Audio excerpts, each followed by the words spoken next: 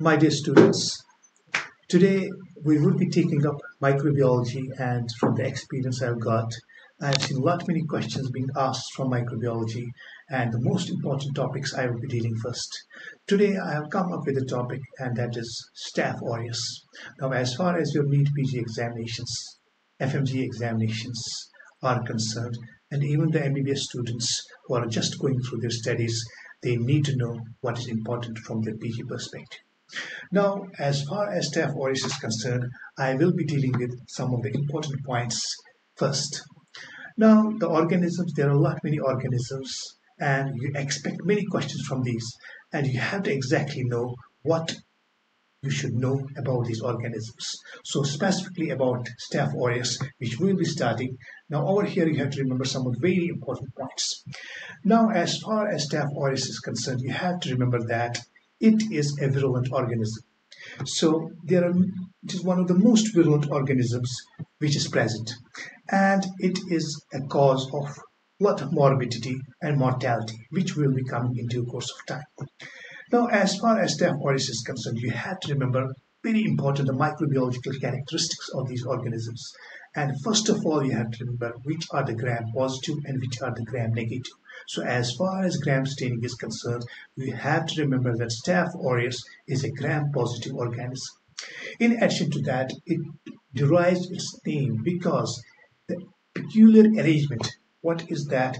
These cocci, they are just clustered in the form of grapes, a bunch of grapes, and that is you can see in the figure over here that how the Staph aureus colonies just appear on the microscopic examination. So they are grape-like clusters. They are clustered in the form of grapes. Now, other things which are important are the motility, the spore formation, and you have to remember that non, non-motile, non-sporing, and whether they are aerobic or anaerobic. Staph is characterized by the features like non-motile, non-sporing, and anaerobic. In addition, as far as the fermentation of certain substances is concerned, you have to remember that the Staph aureus ferments glucose into lactic acid. Very important. So gram positivity, non-motile, non-sporing, and anaerobic, which are the important characteristics which you have to remember. Now, how you differentiate staph from different uh, bacteria and from the uh, staph aureus from other uh, group of uh, staph. Now we have to remember that staph aureus is catalase positive. Now, as far as catalase is concerned, it is an enzyme, and this is what differentiates it from streptococci. Streptococci also happen to be very important group of organisms, and you have in certain cases to differentiate between staph and streptococci. So, catalase positivity is one important factor which distinguishes staph from streptococcus. Now, in addition, it is also coagulase positive. So, two enzyme positivities, catalase and coagulase. Now, in addition, it ferments mannitol. So that's one important and characteristic feature on uh, agar is that they form golden yellow colonies. Very important you have to remember because sometimes you are asked about media and what type of colonies they produce. So as far as our Staph aureus is concerned, by now we have come to know it is gram-positive, non-motile, non-sporing, ferments, mannitol, catalase positive and coagulase positive and characteristic golden yellow colors. Repetition is important because repetition facilitates your memory and that's what I strongly believe in. So over here, this image-based question, over here, golden yellow colors seen on blood agar plate. So this is very important. Now, normally you could consider staph as pathogenic, but you have to remember that it is a normal commensal. It is a part of the normal flora and it is present normally in the nasal passages. It is present on the skin and it is present in the mucosa. So you have to remember that it's a normal commensal present and we'll come to the conclusion later on how the staph infection spread from these nasal passages from the skin or from the mucosa. Now, this is what I was telling you. Now, how the infections occur and how the transmission occurs. Transmission is by from the human uh, lesions, wherever there are the lesions, it can share the fomites, the respiratory tract, and the skin. So you can get contaminated through contact by the skin, through the respiratory tract, and through the fomites. So this thing you have to remember, and it's very important. I will be coming at the end, MRSA and uh, transmission. That's something else. Now, what and why is staph pathogenic? Now, the pathogenic capacity of Staph aureus is just, a, just due to factors because of multiple toxins. So there are multiple factors, extracellular factors and toxins, which are responsible for the invasiveness of Staph aureus. And as we just mentioned, coagulase. Coagulase is one important enzyme which is responsible for the pathogenicity and the characteristic yellow pigment and hemolysis. So hemolysis is one important characteristic feature of Staph aureus. Now, why we study staph? Because staph has got a lot of clinical importance and that's important. Now, first of all, you have to remember that there is this food poisoning and food poisoning can be due to various, various organisms but you have to remember characteristically, the first important fact is that Staph aureus is a very important organism which can cause food poisoning. And the food poisoning by Staph aureus is acute, is usually acute because it occurs within six to eight hours of food intake. It is not that there's a long latent period of uh, poisoning. So it occurs acute. One of the important causes of acute food poisoning is Staph aureus. And you have to remember this one thing Panton Valentine leukocidin. It has been asked multiple times. It has been asked multiple times. What is this Panton Valentine leukocidin? Basically, it is one of the toxins which just destroys the leukocytes. And it is one of the important components of the it is one of the very important components of the food poisoning. Now, dairy products, milk and milk-based products are very important as far as food poisoning by staph aureus is concerned. So this is very important. You have to remember that staph aureus is a very important organism causing acute food poisoning within 6 to 8 hours of ingestion of contaminated food. Now, classically, coming to the main important point, staph aureus. So, staph aureus is an important organism because it causes several infections. And what are these infections? First thing you remember that in an orthopedic clinic, you might be having a patient who comes with pain, acute onset of pain, tenderness, inflammation, and it might be an infection of a bone, any bone, a vertebra, a long bone, and that clinical condition is called as acute osteomyelitis. I'm not talking about chronic osteomyelitis. And you have to remember that acute osteomyelitis is not well picked up in radiographs. I mean to say X-rays in the initial stage because X-rays do not detect acute osteomyelitis. For that, you have to have a high level of clinical suspicion because acute osteomyelitis can be a bit fatal. It can progress rapidly and CT scan or MRIs the best pick up acute osteomyelitis. So a patient can be presenting in an orthopedic clinic with pain, tenderness, inflammation, fever, and then once you do a CT scan, you might be having a bony lesion in the form of acute osteomyelitis. Over here in the figure, you can have a look. This can be an image-based question. You can see over here, this is uh, already an arrow drawn, and I'm just pinpointing it in a more precise manner, you can see that this is a vertebral osteomyelitis. You can see the vertebra over here from above downwards, and you can see that there is some change in the density of the vertebra, and this is where acute osteomyelitic focus has set in, and it has been picked up by this scan which is not a, a, normal radiograph. Okay? So this is how it presents. So what I have to remember acute osteomyelitis, the commonest causes staph aureus. So we are done with acute osteomyelitis. Number two, acute mastitis, a female who can be having an inflamed tender breast due to multiple factors, due to lactation, due to um, unhygienic breast maintenance, or many other factors. And you have to remember that this female can present with pain, swelling, tenderness in her breast. And this is a case of acute mastitis. Acute bacterial mastitis and the commonest organism is Staph aureus again. So two things, acute osteomyelitis, acute mastitis. Now, I will just leave botryomycosis for the time being and I will come to furunculosis and carbuncle. Basically, follicles, hair follicles. Hair follicles can get inflamed, inflamed and there can be tenderness in the sides of the hair follicles and that clinical condition is called as folliculitis or furunculosis.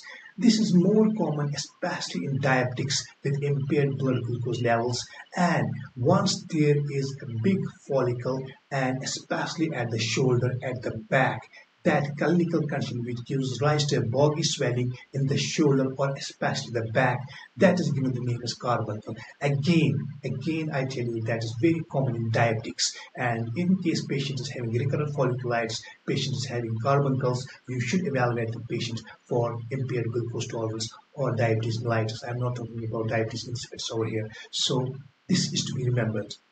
Now I come back to the point I did not uh, mention in the first instance, botryomycosis. So what is botryomycosis? Basically, botryomycosis happens to be a chronic bacterial inflammation. And Staph aureus happens to be one of the commonest causes of botryomycosis. There can be other organisms which can be involved like Pseudomonas, but here you have to remember that one of the important organisms which causes botryomycosis is Staph aureus. And what is this botryomycosis? It is a chronic inflammation and in fact you have to remember very precisely chronic granulomatous inflammation and it is characterized by the presence of folliculitis, presence of crusts, presence of pustules, presence of chronic suppuration and presence of what I already mentioned granulomatous lesions and you have to remember that they can be presence of fissures fistula, ulcers, and sinuses. So this is more progressive. This is more uh, progressive, and the lesions can be deeper, and the lesions can be more widespread, and the lesions can be more severe. So botryomycosis is not a fungal inflammation. It is a chronic bacterial inflammation which is more severe and which is most frequently caused by staph aureus. So that is done botryomycosis. Now, so we have done acute osteomyelitis, acute mastitis, botryomycosis, furunculosis, and carbuncle. Now, in addition, you have to remember that sometimes a patient can come very sick, and this clinical condition is called as acute endocarditis. Now, you have to remember that endocarditis is the inflammation of the valves of the heart and be subacute as well as acute. The subacute endocarditis, most common organism is streptococcus. But I am talking about acute bacterial endocarditis. And in here a patient progresses very rapidly towards deterioration. And it should be identified at a very early stage. And the most important organism causing acute bacterial endocarditis. I am not talking about SABE subacute bacterial endocarditis. I am talking about ABE acute bacterial endocarditis. So the most important organism causing acute bacterial endocarditis is Staph aureus. Very important. Now, there's another condition which we give the name as tropical pyomyositis or tropical polymyositis. Now, as is evident from the name, tropic, poly or pyo. So, we have sometimes to use your common sense and intelligence. Tropical, it is most common in tropics. Number two, pyomyositis. Pyo means pus. Pus and myositis means inflammation of the muscle or polymyositis. Poly means multiple, multiple muscles. So what is this term? Tropical pyomyositis or tropical polymyositis. So as this clinical condition is concerned, it is characterized by inflammation of the muscles, there is muscle weakness, there is muscular pain, there is muscular stiffness or tenderness, there is muscular inflammation, and you can be having abscesses within the muscles. Though this clinical condition is very difficult to diagnose up till and unless you do not have an idea about tropical pyomyositis. So this clinical condition, again, one of the most important organisms which is implicated in the causation of tropical pyomyositis or polymyositis is Staph aureus. So this is important. Now I left Sycosis barbae in between. I left Sycosis barbae with a deliberate purpose. Now I was talking about folliculitis, folliculosis. Now, as far as the Sycosis barbae is concerned, sometimes a male especially, he goes for immediate shaving. And after shaving, what he can get, he can get deep-seated. Here I'm using the term not superficial, deep-seated folliculitis. The follicles will be inflamed again, but this time it will be a deep-seated folliculitis, and there will be papillopustular lesions that means more advanced feature and the follicular involvement is more deeper here and there can be itchy tenderness pus emanating from the follicles and you can be having a serous fluid discharge from the follicles as well as pus. And what's important the sycosis barbae can be cosmetically disfiguring. Why? Because it can lead to a greater degree of scarring, a greater degree of hypertrophy of the lesions, and what it can lead is keloid formation. And you know once keloid set in, it is a bit of a cosmetic disfigurement and a bit difficult to treat. So this sycosis barbae is important and one of the most important organisms which causes sycosis barbae again is staph aureus so these things you have to remember now currently, what uh, and why Staph aureus has gained a more important role is because we have got this thing, what we call as MRSA. Methicillin resistant Staph aureus. Basically, Staph aureus previously were very sensitive to methicillin, which is a drug, and MRSA strains are important because MRSA can progress much rapidly and they can cause abscesses, the clinical deterioration will be more there and the current focus is on prevention of MRSA spread and the most effective manner in which the MRSA strains can be prevented is by very effective hand washing techniques. So that is why there is a protocol in most of the hospitals of effective hand washing and that is said to just prevent MRSA infection spreading rapidly. So we can have MRSA in the form of epidural abscesses which need surgical or even in osteomyelitis or any of the conditions in which Staph aureus is implicated. You can have these MRSA strains coming in and producing a more rapidly evolving disease condition. So this is something you have to remember because this is very important from a healthcare and a community context. MRC. in social and preventive medicines, you will be coming uh, across the effective modalities by which we can just prevent the spread of MRSA strains. So just to wind up, you have just um, I think gained enough knowledge from this a class of mine as far as the staph aureus is concerned, what the microbiological characteristics of staph aureus are, and why the staph aureus comes into role as far as the disease conditions are concerned. So this is a class uh, wherein we have just mixed in microbiology along with medicine and surgical specialties because acute endocarditis will be just pertaining to medicine Acute osteomyelitis will be a domain of the orthopedician. Acute mastitis will be the domain of a surgeon. And furunculosis, carbuncle, sycosis, barbae, they will be in the domain of a dermatologist. So basically there are no boundaries in medical sciences and just how these things gel up and come together and this is the concept we have to learn that we have to do an integrated teaching and this is the way we study staph aureus and other organisms.